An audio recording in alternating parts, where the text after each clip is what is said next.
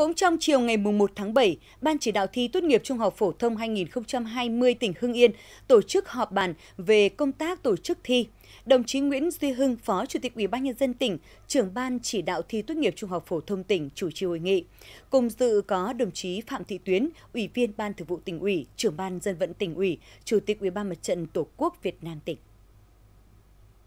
Kỳ thi tốt nghiệp trung học phổ thông năm 2020 tỉnh Hưng Yên có gần 13.000 thí sinh đăng ký dự thi tại 28 điểm thi, dự kiến tổ chức từ ngày 9 đến ngày 11 tháng 8.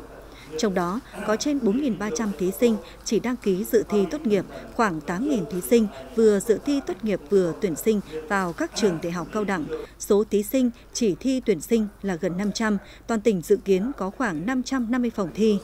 Kết luận hội nghị, đồng chí Nguyễn Duy Hưng nhấn mạnh một số điểm mới của kỳ thi tốt nghiệp trung học phổ thông năm 2020, trong đó, Ủy ban nhân dân tỉnh chịu trách nhiệm toàn diện về chỉ đạo tổ chức kỳ thi tại địa phương. Đồng chí trưởng ban chỉ đạo tỉnh yêu cầu Sở Giáo dục và Đào tạo sớm hoàn thiện kế hoạch tổ chức thi một cách cụ thể rõ ràng theo tiến độ trước trong và sau kỳ thi. Kế hoạch phải bám sát chỉ đạo của Thủ tướng Chính phủ, Chủ tịch Ủy ban nhân dân tỉnh và Bộ Giáo dục và Đào tạo. Trên cơ sở đó, các ngành địa phương thành viên ban chỉ đạo sớm có phương án triển khai thực hiện đảm bảo kỳ thi diễn ra an toàn khách quan đúng quy chế. Phó Chủ tịch Ủy ban Nhân dân tỉnh cũng yêu cầu các cơ quan tuyên truyền tập trung các điểm mới của kỳ thi, các quan điểm lãnh đạo chỉ đạo của tỉnh về tổ chức kỳ thi đến cán bộ, giáo viên, phụ huynh, học sinh, tạo sự đồng thuận trong xã hội.